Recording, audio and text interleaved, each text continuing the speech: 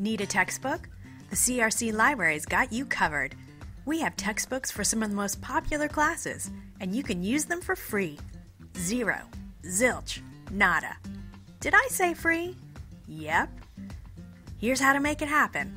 Step 1 Get your student access card. It's a student ID plus a library card, and you can't check out anything without it. New students head to admissions and records first. Step 2 Find the call number. Search the online catalog by class, professor, or title. That call number is your golden ticket to library textbooks. Step 3 Head to the circulation desk. We'll pull the book for you and check it out to your card.